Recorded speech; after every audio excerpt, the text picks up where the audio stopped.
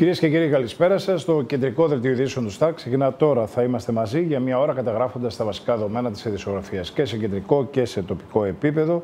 Σε κεντρικό επίπεδο, το πολιτικό σκηνικό έχει να κάνει με τα δημοσκοπικά ευρήματα τα οποία παρουσιάζονται καθημερινά, αλλά έχει να κάνει και με την υπόθεση που λέγεται ΣΥΡΙΖΑ και τις εξελίξεις που αφορούν το κόμμα της αξιωματικής αντιπολίτευσης. Το οποίο, η ρίζη του εμπαρόδο, στις δημοσκοπήσεις κατατάσσεται τρίτο. Τις επόμενες κινήσεις τους στην πολιτική αναμένεται να εκδηλώσει το επόμενο διάστημα ο Στέφανος Κασελάκης. Ξεκινάμε με αυτό.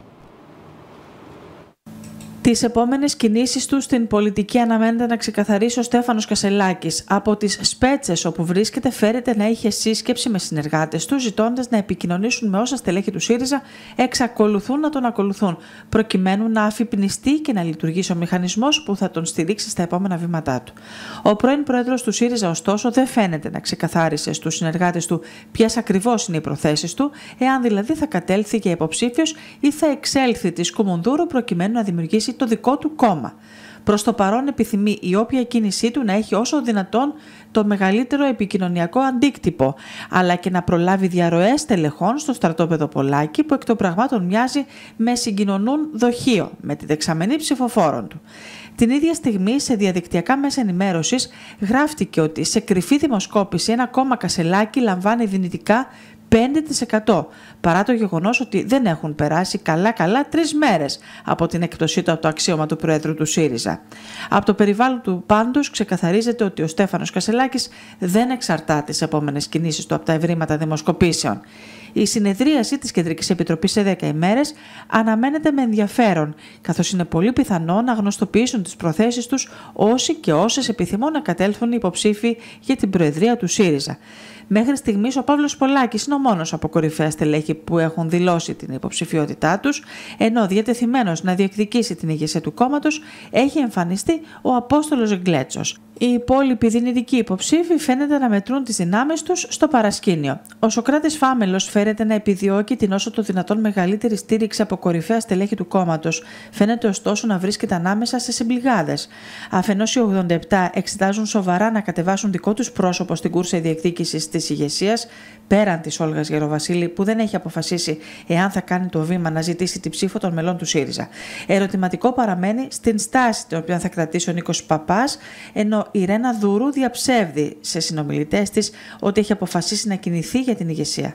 Ο Νικόλας Φαραντούρης, από την άλλη, αναμένει να δει αν οι ισορροπίες οι οποίες θα έχουν διαμορφωθεί το επόμενο δεκαήμερο θα τον ευνοούν, ώστε και εκείνος να διεκδικήσει την Προεδρία καταλαμβάνοντας ένα καλό ποσοστό. Η Κομονδούρου βρίσκεται παράλληλα σε αριθμού διεθνούς εκθέσεως Θεσσαλονίκης με τον Νίκο Παπά να εκπροσωπεί τον ΣΥΡΙΖΑ ως πρόεδρος της κοινοβουλευτικής ομάδας του. Για δεύτερη συνεχή χρονιά δεν θα απευθύνει ομιλία προς τους παραγωγικού φορείς κάποιος επικεφαλής του ΣΥΡΙΖΑ το καθιερωμένο δεύτερο Σάββατο της έκθεσης. Ενώ ο Νίκος Παπάς αναμένεται να παρουσιάσει το προγραμματικό πλαίσιο του κόμματος το μεσημέρι του Σαββάτου σε συνάντηση που θα έχει με εκπροσώπους φορέων. Κυρίες και κύριοι, οι δημοσκοπήσει διαδέχονται η μία την άλλη στους κεντρικούς τηλεοπτικούς σταθμούς και στα ευρείας υπόστασης και ρόλου κεντρικά μέσα ενημέρωσης. Μία δημοσκόπηση την οποία θα δούμε και θα σχολιάσουν τα δεδομένα των υπολείπων δημοσκοπήσεων στη συνέχεια με τον Γιάννη Παργίνο είναι αυτή που έγινε για τον τηλεοπτικό σταθμό Star και η οποία παρουσιάστηκε χθες. Είναι της εταιρείας GPO. Πάμε να δούμε τα στοιχεία αυτής της μέτρησης με τη Νέα Δημοκρατία να είναι κάτω από το ποσό του 30% στο 27,2% και το ΠΑΣΟΚ δεύτερο κόμμα με ένα ποστό κάτι καλύτερο σε σχέση με το αποτέλεσμα των ευρωεκλογών. Ο ΣΥΡΙΖΑ είναι στην τρίτη θέση, λεπτομέρειες και στοιχεία και εδώ στο ρεπορτάζ. Προβάδισμα άνω των 15 ποσοστιαίων μονάδων διατηρεί η Νέα Δημοκρατία από το δεύτερο κόμμα, σύμφωνα με νέα δημοσκόπηση που δημοσιεύει το ΣΤΑΡ. Το κυβερνών κόμμα βλέπει τα ποσοστά του να έχουν πέσει στο 27,2% με το Πασόκ να ακολουθεί στη δεύτερη θέση, ενώ ο ΣΥΡΙΖΑ έχει κατρακυλήσει στην τρίτη με το ΚΚΕ και την Ελληνική Λύση να πλησιάζουν απειλητικά. Σύμφωνα με τη δημοσκόπηση, τα ποσοστά των κομμάτων είναι Νέα Δημοκρατία 27,2, Πασόκ 11,8, ΣΥΡΙΖΑ 9,3, Κομμουνιστικό Κόμμα 8,3, Ελληνική Λύση 8,1, Φωνή Λογικής 4,1, Πλαίσιο Ελευθερίας 3,5, Νίκη 2,7, Νέα Αριστερά 2%. Για πρώτη φορά τα τελευταία χρόνια ο Κυριάκος Μητσοτάκης δεν είναι ο δημοφιλέστερος πολιτικός αρχηγός, καθώς ο Δημήτρης Κουτσούμπας είναι πρώτος με μικρή διαφορά. Άλλωστε, αναφορικά με τις εξαγγελίες του Πρωθυπουργού στη ΔΕΘ, θετικά της αποτιμά το 39,2% ενώ το 57,4% της αποτιμά αρνητικά. Μεταξύ των ψηφοφόρων του ΣΥΡΙΖΑ, το 57,4% μάλλον συμφωνεί ή συμφωνεί με την πρόταση μορφής στο Στέφανο Κασελάκη, η οποία οδήγησε σε νέες εσωκομματικέ εκλογές. Απ' την άλλη, διαφωνεί ή μάλλον διαφωνεί το 40%. Πάντως, οι ψηφοφόροι του ΣΥΡΙΖΑ θεωρούν καταλληλότερο για αρχηγό τον Αλέξη Τσίπρα με 42,8% ενώ ακολουθεί ο Στέφανος Κασελάκης με 17,9%. Τρίτος, ο Σοκράτης Φάμελος με 17,9 και ακολουθούν Παύλος Πολάκης με 7,4, Όλγα Γεροβασίλη με 4,7, Νικόλαος Φαραντούρης με 2,3 και Απόστολος Γκλέτσος με 1,2. Οι ψηφοφόροι του Πασόκ σε ποσοστό 35,2% θεωρούν ότι ο Νίκος Ανδρουλάκης θα πρέπει να επανεκλεγεί πρόεδρος, ενώ το 59% προτιμά να εκλεγεί άλλο πρόσωπο. Η συντριπτική πλειοψηφία των ερωτηθέντων, με ποσοστό 78,7%, θεωρούν ότι πρέπει να αυστηροποιηθεί η μεταναστευτική πολιτική. Υπέρ του μέτρου της απαγόρευσης των κινητών στα σχολεία τάσεται το 83,6%. Οι πολίτες, ποσοστό 61,7% θεωρούν ότι πρώτη προτεραιότητα της κυβέρνησης πρέπει να είναι η αντιμετώπιση της ακρίβειας και ακολουθεί η βελτίωση του συστήματος υγείας με 43,2%. Πάντως, το 67,7% του κόσμου κρίνει αρνητικά τις εξαγγελίες της κυβέρνησης για την αντιμετώπιση της ακρίβειας, ενώ μόλις το 33,3% της κρίνει θετικά. Κυρίες και κύριοι, ο Γιάννης Παργενός μαζί μας για να σχολιάσουμε την επικαιρότητα. Μια επικαιρότητα, έλεγα Γιάννη μου, καλησπέρα. καλησπέρα η οποία μέρα με τη μέρα θα τροφοδοτείται και από τα δημοσκοπικά ευρήματα τα οποία παρουσιάζουν οι κεντρικοί τηλεοπτικοί σταθμοί, κυρίως αυτοί. Δεν θα νιώσουμε ανιερά. Δεν θα πήξουμε, όπως λέμε στην Και τα οποία στην πραγματικότητα, για σένα και εμένα που το σχολιάζουμε κάθε βράδυ, δεν αποτελούν έκπληξη αυτά τα στοιχεία, καθώς η Νέα Δημοκρατία, το κυβερνό κόμμα, βρίσκεται κάτω του ψυχολογικού ορίου του 30% σε μια σταθερή βάση, αλλά να χτίζεται μέρα με τη μέρα μια κοινωνική αντιπολίτευση και μια δυσαρέσκεια και μια αρνητική στάση των πολιτών για το πού πηγαίνει η χώρα.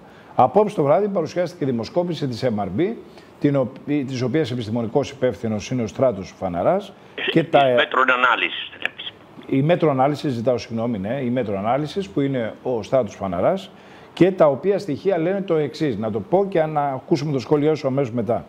Νέα Δημοκρατία ως προς την πρόθεση ψήφου 29,8%. ΣΥΡΙΖΑ 9,5%.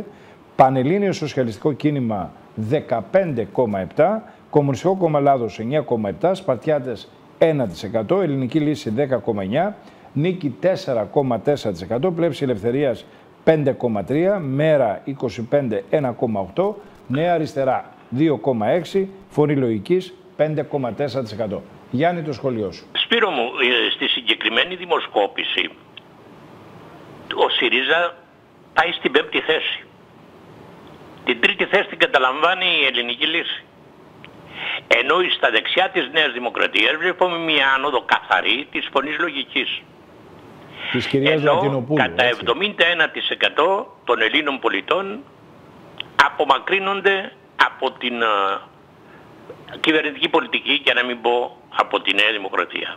Η Νέα Δημοκρατία στην πρόθεση ψήφου καταλαμβάνει ένα ποσοστό της τάξης του 22% ενώ στην uh, αναγωγή 29,8% κάτω από το 30% που είναι το ψυχολογικό όριο.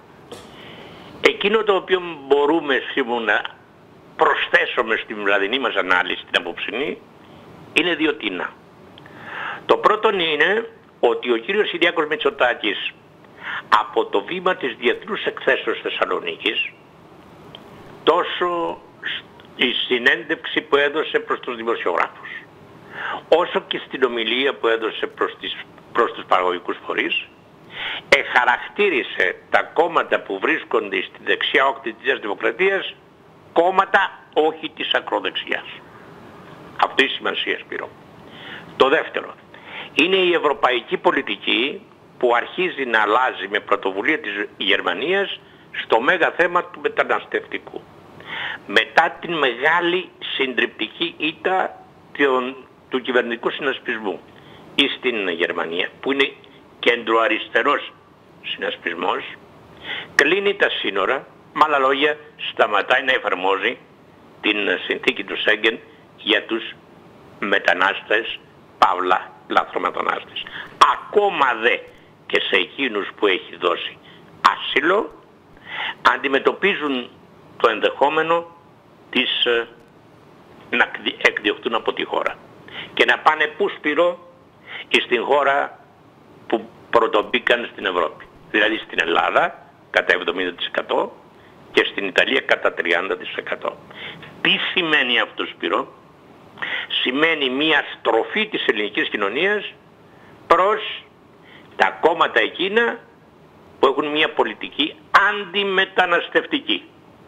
Σε μια περίοδο όπου αυτή η αντιμεταναστευτική πολιτική συνδυάζεται με μια κέντρο αριστερή πολιτική χήμα που δεν παρουσιάζει καμία εναλλακτική πρόταση, καταλαβαίνεις που μπορεί να οδηγήσει.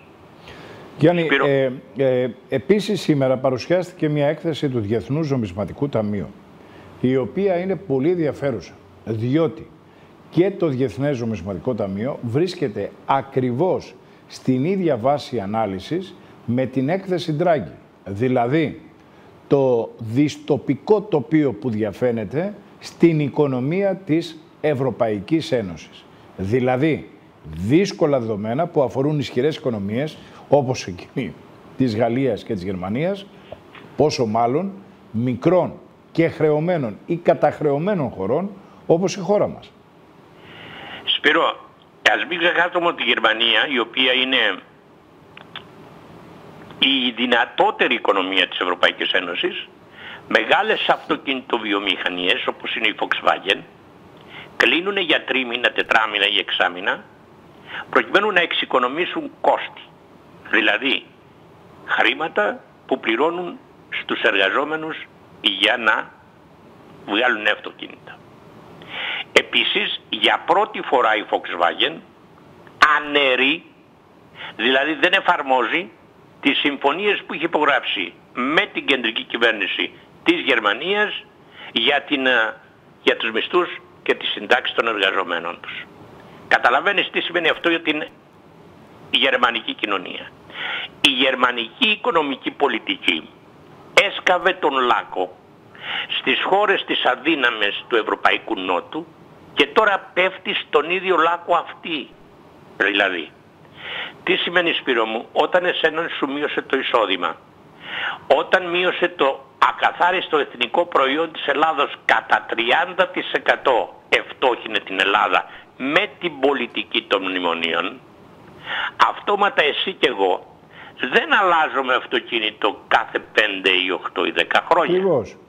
Δεν παίρνουμε δεύτερο ή τρίτο ψυγείο. Επομένως η βιομηχανική παραγωγή Επομένως η βιομηχανική της παραγωγή πέφτει, Χέρια, αρχίζουν οι γκρίνιες των εργαζομένων. Ανταλλακτικά μηχανήματα, όλος Ακριβώς. ο κύκλος... Ταυτόχρονα δε έχει και μια ανταγωνιστική βιομηχανική παραγωγή από χώρες της από Ανατολής.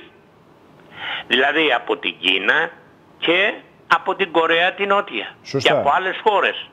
Καταλαβαίνεις λοιπόν ότι κάπου λίγο στριμώχνεται η Καλό οικονομία βράδυ γερμανική. Γιάννη.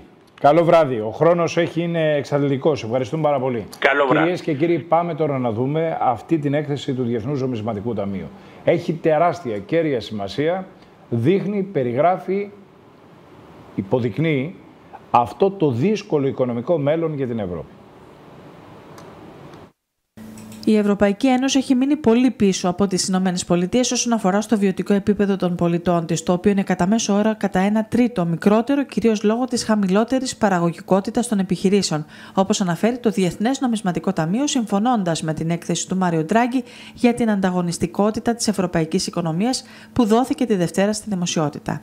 Σε ανάλυση του Ταμείου με τίτλο Πώς θα αφυπνιστεί ο ιδιωτικός τομέας και θα ενισχυθεί η οικονομική ανάπτυξη της Ευρώπης, εν ώψη της νέας έκθεσης που θα δημοσιεύσει για τις προοπτικές της οικονομίας της, τονίζονται τα βασικά αίτια της καθυλωμένης παραγωγικότητας των ευρωπαϊκών επιχειρήσεων και της χαμηλότερης καινοτομίας τους σε σχέση με των Αμερικανικών. Σύμφωνα με το Διεθνές Νομισματικό Ταμείο, βασική πηγή του προβλήματος είναι η αδυναμία των ευρωπαϊκών επιχειρήσεων να επιτύχουν μεγάλες οικονομίες κλίμακας και να καινοτομήσουν, η οποία με τη σειρά της οφείλεται στον κατακαιρματισμό της εσωτερικής αγοράς της και στη χαμηλότερη άντληση χρηματοδότησης μέσω έκδοσης μετοχών. Αντίστοιχα με τις διαπιστώσεις αυτές είναι και οι συστάσεις που κάνουν τα στελέχη του Διεθνούς Νομισματικού Ταμείου στις ευρωπαϊκές αρχές η Ευρωπαϊκή Ένωση πρέπει να βρει κοινό έδαφος για την άρση των εμποδίων στις ροέ αγαθών, υπηρεσιών, κεφαλαίων και εργασίας εντός της ενιαίας αγοράς. Οι προσπάθειες θα πρέπει να καλύψουν πολλούς τομείς, ανοίγοντας προστατευόμενους τομείς, μειώνοντας το ρυθμιστικό κόστος της διασυνοριακής λειτουργίας, επεκτείνοντας την κεφαλαία αγορά για καινοτόμες επιχειρήσεις και επενδύοντας την εκπαίδευση. Ένας εκμάζων επιχειρηματικός τομέας είναι το κλειδί για τη μείωση του μεγάλου χάσματος παραγωγικότητας και κατακεφαλήν εισοδήματος στην Ευρώπη. Καταλήγει η ανάλυση. Το Διεθνές Νομισματικό Ταμείο συνιστά πιο ελαστικές σχέσεις εργασίας με πιο ευέλικτες διαδικασίες απόλυσης, αλλά και επαρκή επιδόματα ανεργίας και ισχυρές ενεργέ πολιτικές στην αγορά εργασίας. Μεταξύ των μεγάλων κορυφαίων εταιριών, η παραγωγικότητα και η καινοτομία έχουν αποκλίνει σημαντικά από τις δύο πλευρές του Ατλαντικού οι κεφαλαιοποίησεις των αμερικανικών εισηγμένων επιχειρήσεων έχουν υπερτριπλασιαστεί από το 2005, ενώ της Ευρώπης έχουν αυξηθεί μόνο κατά 60%. Αν και οι αποτιμήσεις μπορεί να αντανακλούν προσδοκίες που τελικά δεν εκπληρώνονται, η ανάλυση μας δείχνει ότι η απόκληση οφείλεται επίσης στο χάσμα παραγωγικότητας σε όλους τους κλάδους και είναι ιδιαίτερα έντονη στους τεχνολογικούς κλάδους, σημειώνεται η παραγωγικότητα για τις αμερικανικές εταιρείες τεχνολογίας έχει αυξηθεί κατά σχεδόν 40% από το 2005, αλλά των ευρωπαϊκών εταιρεών έχει μεταβληθεί λίγο. Αυτή η σημαντική διαφορά υποστηρίζεται από τις πολύ μεγαλύτερες προσπάθειες καινοτομίας των επιχειρήσεων στις ΗΠΑ, όπου οι δαπάνες για έρευνα και ανάπτυξη ως ποσοστό των πωλήσεών τους είναι υπερδιπλάσιες από εκείνες της Ευρώπης. Η Ευρώπη επίσης πάσχει από μια γενικότερη έλλειψη επιχειρηματικού δυναμισμού, δεν περιορίζεται δηλαδή το πρόβλημα στις μεγάλες εταιρείες. Ο αριθμός start-up επιχειρήσεων είναι μικρός και πολύ λίγες από αυτές αναπτύσσονται γρήγορα και γίνονται τελικά μεγάλες. Στις ΗΠΑ, οι ταχύτερα αναπτυσσόμενες νέες εταιρείες απασχολούν έξι φορές περισσότερους ανθρώπους ως ποσοστό της συνολικής απασχόλησης από τις αντίστοιχες ευρωπαϊκές. Κυρίες και κύριοι, στην τοπική δισογραφία το επόμενο θέμα το έχει αναδείξει το ΣΤΑΡΤ γιατί προκαλεί τεράστια ερωτήματα. Είναι μια σκανδαλώδης υπόθεση, δεν υπάρχει καμία αμφιβολία γι' αυτό, όπου ένας σωλήνας στον οποίο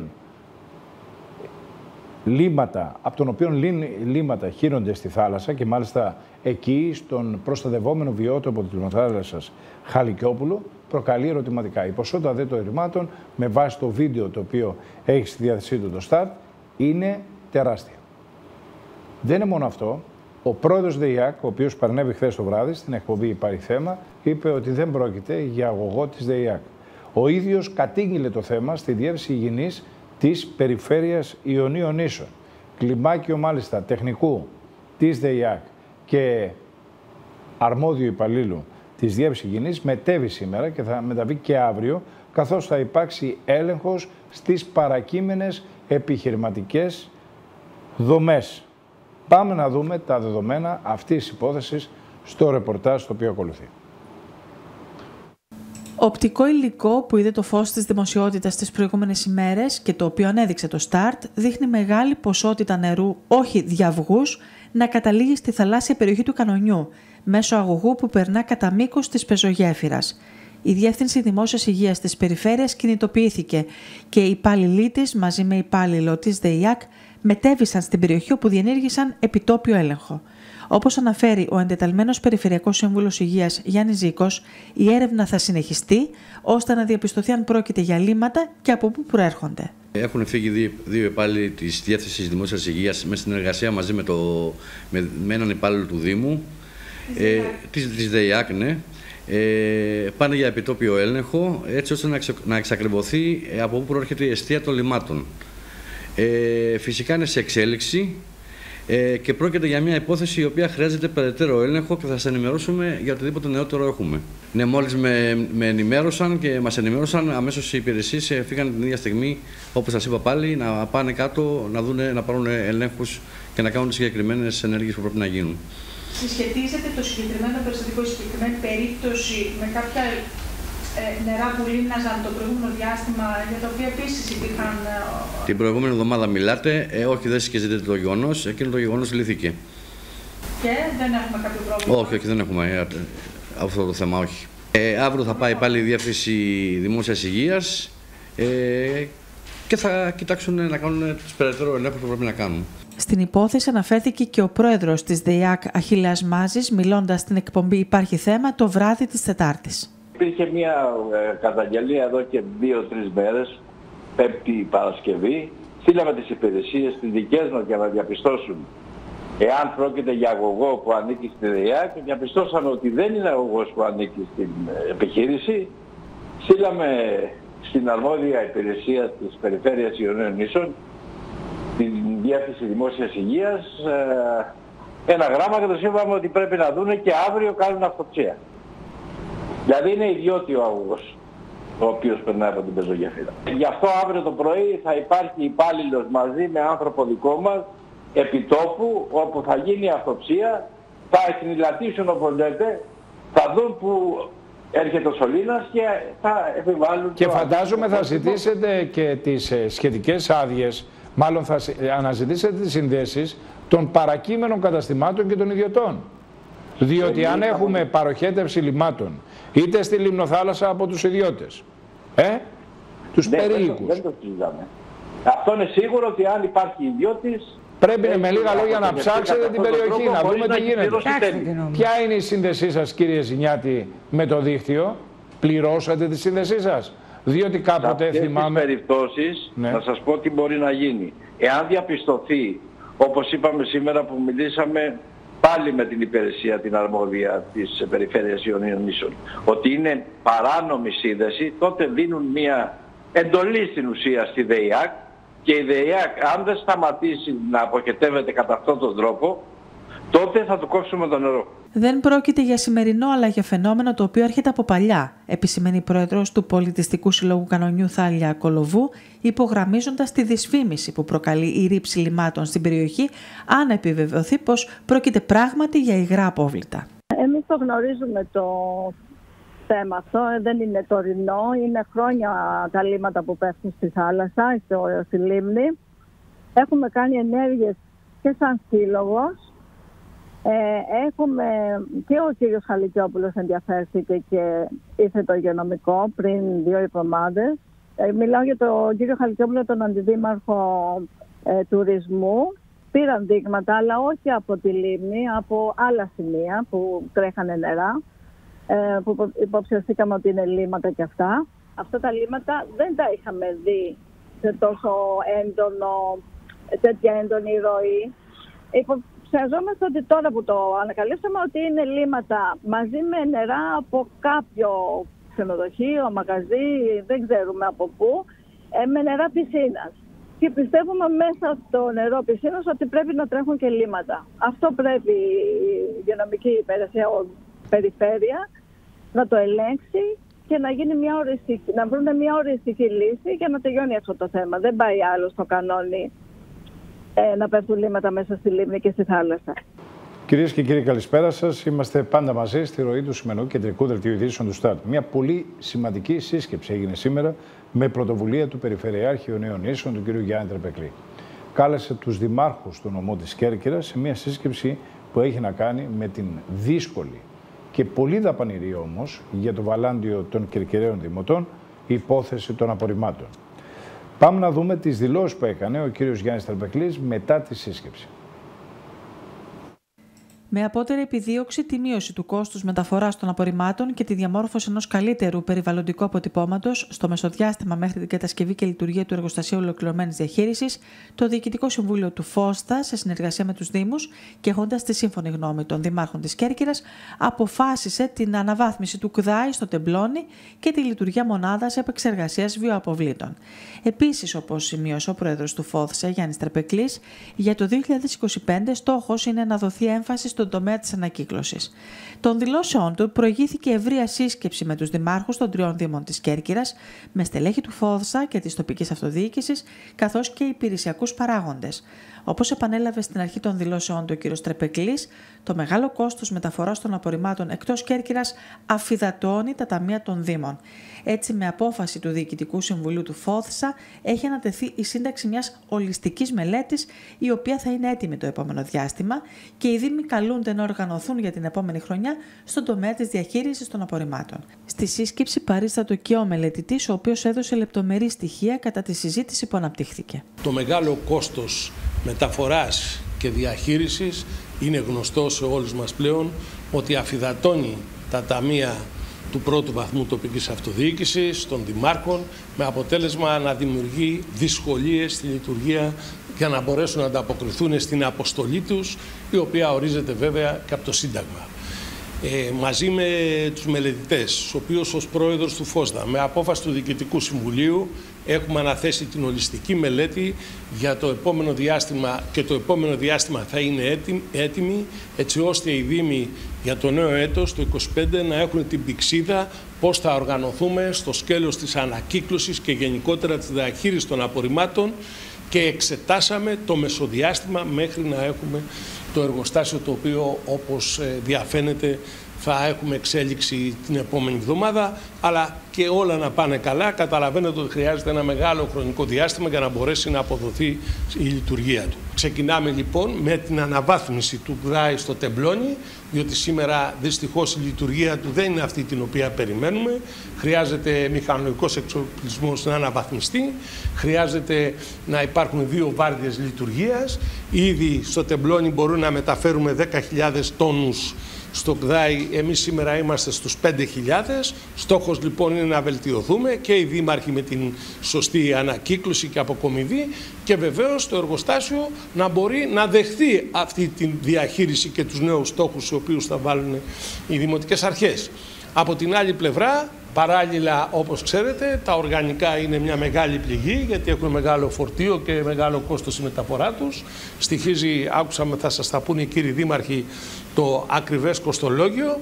Προχωράμε και σε μια μονάδα ΜΕΒΑ, η οποία θα μπορέσει τα οργανικά σε μια καλή συνεργασία με τα εστιατόρια, με τους επαγγελματίες και κυρίως με τα ξενοδοχεία, αλλά και με τα νοικοκυριά, να μπορέσουμε να ε, μειώσουμε τη μεταφορά των για να μειωθεί το κόστος λειτουργία. Αυτό που δεσμεύτηκα και εγώ ως φορέας είναι μετά από τη μελέτη την οποία θα έχουμε τις επόμενες μέρες έτοιμη. Η επόμενη χρονιά θα είναι μια χρονιά μεγάλου εξοπλισμού για την ανακύκλωση, θα στηριχτούν οι επιχειρήσεις, θα στηριχτούν οι δήμοι στον εξοπλισμό αυτό και βεβαίως ξεχωριστά στήριξη και σε κάθε νοικοκυριό.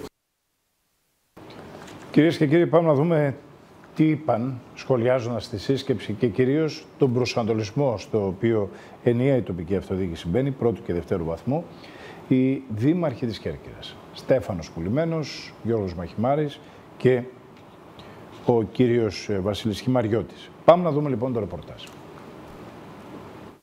για την πιο ουσιαστική σύσκεψη που αφορά στη διαχείριση των απορριμμάτων, στην οποία έχει συμμετάσχει, έκανε λόγο ο Δήμαρχος Κεντρικής Κέρκυρας και Διαποντίων Νησών Στέφανος Πουλημένος, σημειώνοντας πως η σύσκεψη αυτή παρήγαγε συγκεκριμένα αποτελέσματα.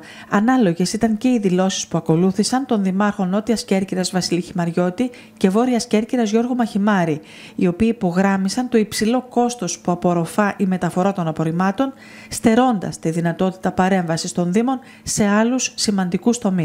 Είναι η πιο ουσιαστική τεχνική σύσκεψη για τη διαχείριση των απορριμμάτων στην οποία συμμετείχα ποτέ. Αυτή που έγινε σήμερα. Και παρήγαγε πολύ συγκεκριμένα αποτελέσματα. Το πρώτο είναι ότι συμφωνήσαμε όλοι, ε, όλοι οι δήμαρχοι και περιφερειάρχες, να πάμε σε μια διαδικασία ταχύτατης, ταχύτατου εξυγχρονισμού του Κέντρου Διαλογής Ανακυκλώσιμων Υλικών, έτσι ώστε να διπλασιαστεί η παραγωγική δυνατότητα του εργοστασίου. Σήμερα το εργοστάσιο έχει μπουκώσει.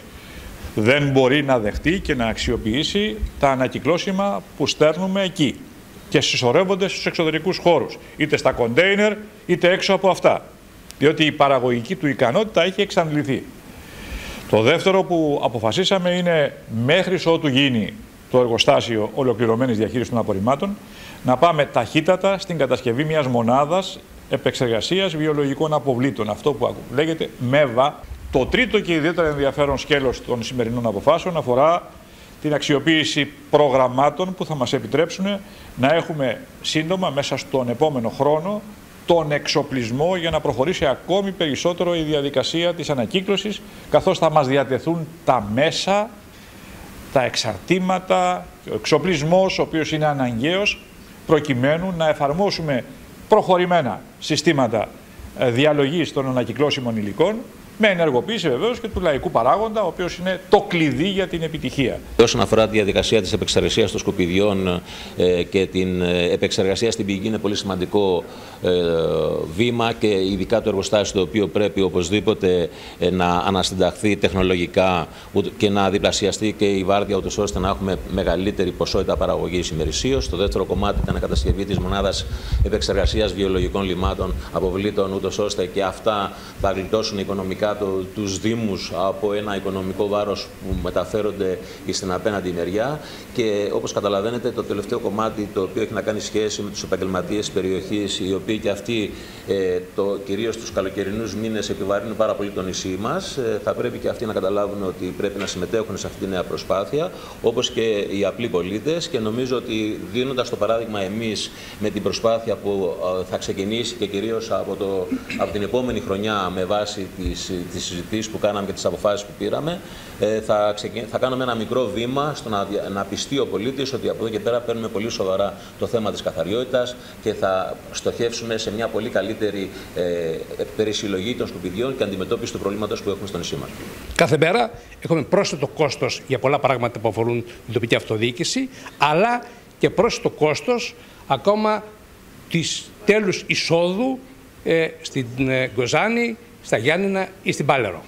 Πρόσφατα λοιπόν σε εμάς και θα έρθει δυστυχώς και στους υπόλοιπους Δήμους, το κόστος από 40 ευρώ τέλος εισόδου, δηλαδή ένα κόστος για εμά 500.000 ευρώ περίπου, για την είσοδο στην Πάλερο, ε, με απόφαση του Υπουργού και έγκριση συνέχεια του αναγκαστικού συνδέσμου διαχείρισης απορισμάτων ε, Υπήρου, μας βάλει 127,5. Που σημαίνει ότι από την 1η Νοεμβρίου εμείς μεταφέρουμε τα απορρίμματα εμείς θα αντισταθούμε και θα έχουμε τη στήριξη και των δημάρχων και του Περιφερειάρχη, αλλά και έχω συνάντηση την Τρίτη με τον κύριο Γραφάκο. Πάμε 1 εκατομμύριο 050.000 ευρώ πρόσθετο κόστος για τη διαχείριση απορρεμμάτων.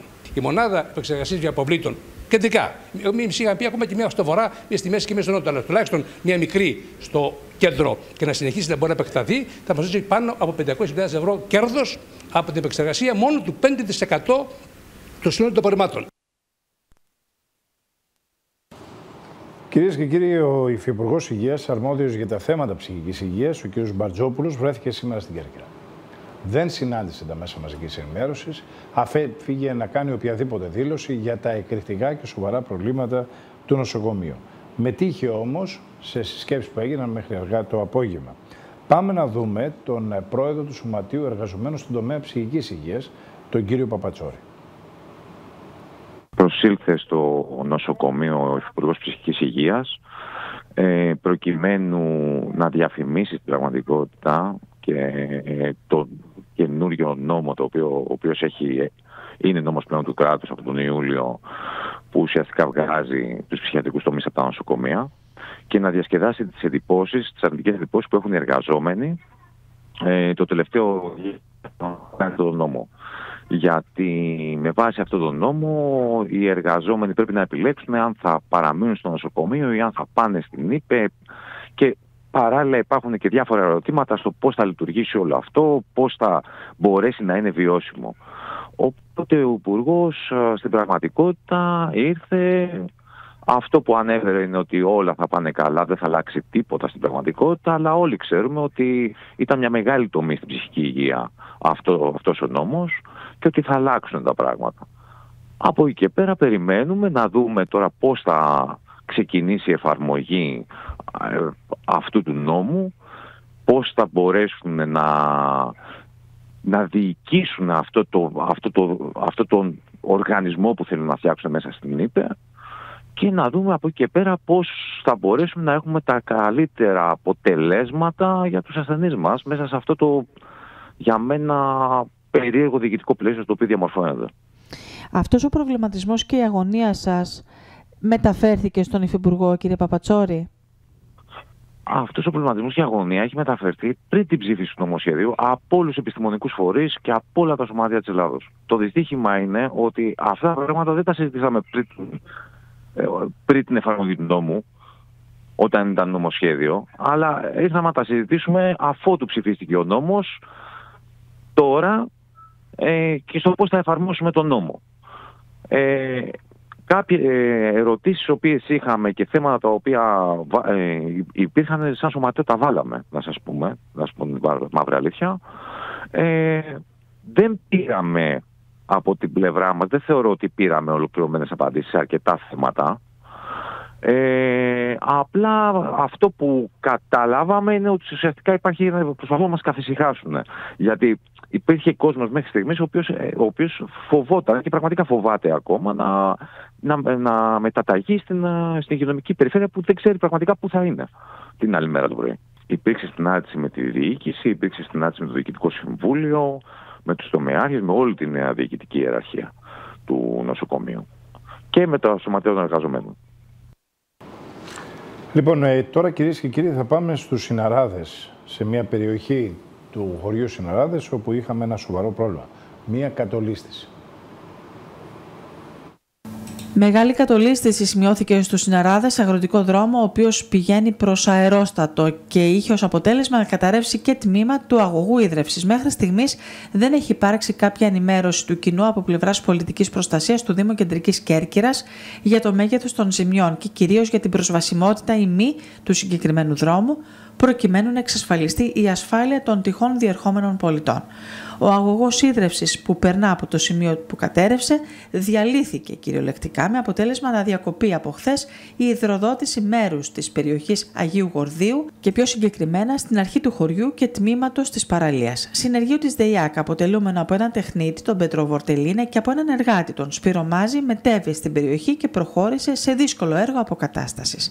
Τις εργασίες δυσκόλεψε ακόμη περισσότερο το γεγονός πως χρειάστηκε να μεταφερθεί πεζή ο νέος Ολίνα, ενώ το σημείο ήταν τόσο δύσβατο όσο και επικίνδυνο για περαιτέρω κατολιστήσεις. Η κατολίστηση σημειώθηκε σε δρόμο ο οποίος βρίσκεται για όσους γνωρίζουν την περιοχή πάνω από τα δεχούμενα που πηγαίνει προς αερόστατο ενώ ο αγωγός της ΔΕΙΑΚ, στον οποίο προκλήθηκε η βλάβη λόγω της κατολίστησης, υδροδοτούσε την περιοχή του Αϊγόρδη από την πλευρά των Συναράδων. Οι εργασίες αποκατάστασης ολοκληρώθηκαν σήμερα νωρίς το μεσημέρι και η υδροδότηση επανήλθε στις περιοχές όπου είχε διακοπεί. Δεδομένου του μεγέθους της κατολίσθησης και της συνακόλουθης επικινδυνότητας του δρόμου, κάτοικοι ανέφεραν ότι απαιτείται τουλάχιστον σήμανση με ειδική κορδέλα για την επικινδυνότητα του συγκεκριμένου δρόμου, προκειμένου να διαφυλαχθεί η ασφάλεια τυχών διερχόμενων πολιτών. Κυρίες και κύριοι, το επόμενο θέμα έχει να κάνει με έναν αγώνα τρεξίματος, ο οποίος θα γίνει σε άμμο.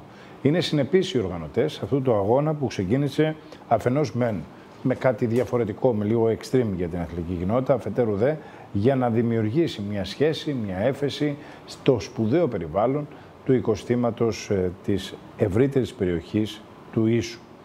Ο κόρυσος αγώνας δρόμου θα γίνει τις επόμενες μέρες. Ο Νίκος Πέρος, μέλος της Αθλητικής Επιτροπής, μίλησε για τον αγώνα αυτό. Ο 12ο κόρυσος αγώνας δρόμου στην Άμμο θα ξεκινήσει στις 5 το απόγευμα του Σαββάτου. Πρόκειται για έναν αγώνα με έντονο συμβολισμό που περιλαμβάνει 7 χιλιόμετρα για ενήλικες και 1.200 μέτρα για μαθητές δημοτικού σχολείου. Πρόκειται για εκδήλωση η οποία διοργανώνεται ανελιπώς από το 2013 και αφορά στην προστασία της περιοχής. Προτεργάτες της είναι άτομα και φορείς του πολιτισμού, του αθλητισμού, της υγείας, της παιδείας, εργατικά σωματεία και τελεί υπό την πρωτοβουλία ίσως, η οποία μεταξελίχθηκε σε νομικό πρόσωπο, τον Κόρισο Περιβαλλοντικό, Αθλητικό και Πολιτιστικό Σύλλογο, ο εκπρόσωπος του οποίου, Νίκος Πέρος, μίλησε στο ΣΤΑΡΤ. Σαββάτο 14 του Σεπτέμβρη, και δεν είναι τυχαία ημερομηνία, περιμένω να ανοίξουν τα σχολεία, διοργανώνουμε τον 12ο ε, αγώνα δρόμου στην Άμμο, στον Ίσο, στη Νότια Κέρκυρα. Ε, με τη βοήθεια και τη συμμετοχή δεκάδων φορέων, πολιτιστικών, αθλητικών, φιλαρμονικές, ε, πάνω ε, παραγόντων της υγείας, της πρόνοιας, Είναι δηλαδή μια επαγγελματική συμμετοχή σε αυτόν τον αγώνα, ο οποίος είναι όπως είπαμε ο 12ο, άρα έχει ε, γίνει θεσμός πια. Ε, είναι ένας αγώνας δρόμου που σίγουρα θεμητό είναι να βγουν πρώτη, δεύτερη, τρίτη, όμως ε, στέλνει πάρα πολλά μηνύματα. Μηνύματα κυρίως ε, σε αυτές τις εποχές που μιλάμε για κλιματική αλλαγή, μηνύματα κυρίως για την αγάπη και τη φροντίδα του περιβάλλοντος. Ε, είναι ένας από τους έξι ε, από τις έξι περιοχές Natura στην ε, Κέρκυρα και σίγουρα είναι φιλέτο θα λέγαμε για τους επίδοξους δίθεν επενδυτές. Όμως ε, η κεριακή κοινωνία είπε Συνεχίζουμε και εμείς, σαν κόρυφο περιβαλλοντικό σύλλογο, ότι αυτός ο τόπος πρέπει όχι μόνο να μείνει έτσι και να παραδοθεί στις επόμενες γενιές, αλλά και να προστατευτεί. Ξεχνάμε συνήθως ότι αυτός ο τόπος είναι και αρχαιολογικός χώρος. Ε, ευρήματα τα οποία βρίσκονται στο μουσείο, οι κάτω γνάδου υποπόταμου, οι αμοθήνε, οι καταπληκτικές αμοθήνε των 10, 12 και 15 μέτρων, οι οποίες είναι αξιοθαύμαστες και στην πορεία των χρόνων έχουν δημιουργηθεί και μας έχουν παραδοθεί και εμείς και πρέπει να το παραδώσουμε στους επόμενους. Το Σαββάτο λοιπόν, ο καιρός θα μα κάνει τη χάρη τελικά, από ό,τι προβλέπετε. Ε, καλούμε όλους, μικρούς και μεγάλους, κάποιοι μεγάλοι να τρέξουν 7 χιλιόμετρα, κάποιοι που δεν θα τρέξουν 7 χιλιόμετρα να περπατήσουν τον ίσο, να τον γνωρίσουν, να τον φωτογραφίσουν και έχουμε και 1200 μέτρα στην παραλία, πάνω στην άμμο, για τα παιδιά του Δημοτικού Σχολείου που οι γονείς και οι δαιμόνε θα τα βλέπουν, θα τα φωτογραφίσουν και θα απολαύσουμε ένα ωραίο απόγευμα σε μια τέτοια περιοχή. Σαββάτο λοιπόν 14 του Σεπτέμβρη, στις 5 ώρα το απόγευμα, ο αγώνας δρόμου στον ίσο, για τον ίσο, για το σήμερα και για το αύριο του ίσου. Και φυσικά δεν ανάγκη να τρέξετε, ας το περπατήσετε, να απολαύσετε το φυσικό περιβάλλον. Κυρίες και κύριοι, αυτά ήταν τα βασικά δεδομένα της σημερινής ειδησιογραφία. Όπως την είδαμε, την καταγράψαμε, την προσεγγίσαμε με τους συναδέλφους, με τη συντακτική ομάδα του ΣΤΑΡ. Πρόγνωση καιρού διαφημίσει, σε λίγη ώρα ξανά μαζί στην ενημερωτική εκπομπή Υπάρχει θέμα.